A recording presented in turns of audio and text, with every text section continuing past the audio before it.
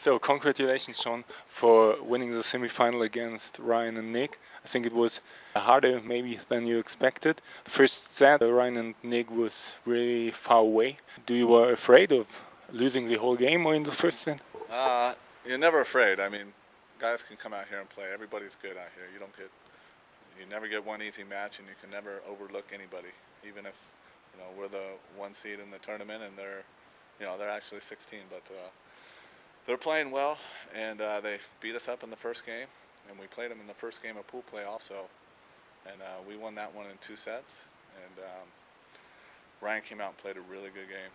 Uh, Nick made some great plays also, especially early in the first set, and uh, you know we just stuck together and hung it out. Uh, it was a big win for us. In the second set, you, you come back in the decider in the uh, third set. I think it was also tight. And then, uh, what do you saw uh, when, when Nick makes this uh, incredible defense? And I, I, think it was the second set when Ryan makes this backhand shot. What do you think there? Third set also. Uh, Ryan made a backhand shot on the first point of the third game.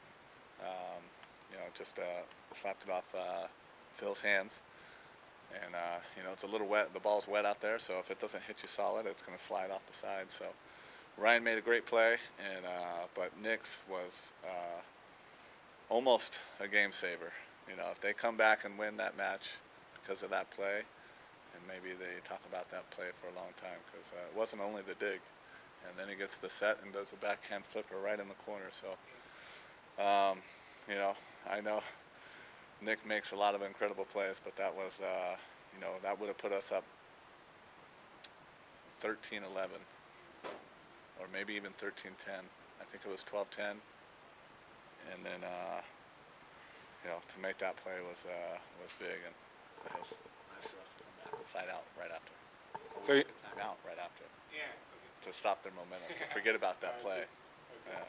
So now you get the second chance to win the second Grand Slam on the uh, other side of the court. You mentioned uh, in Stavanger that this is very important for you.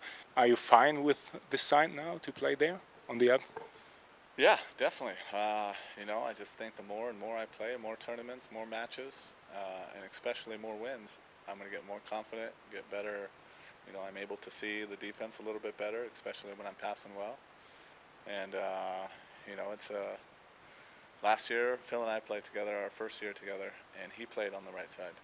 And uh, he really wanted to try it out, and we had a decent year out here. We did well. We won three out of eight tournaments, and uh, for us to make that change in the off season, um, you know, I think in the long run it's going to be good for us. And uh, you know, right now we've we've won 13 matches in a row out here, and you know, hopefully we can make it 14 tomorrow.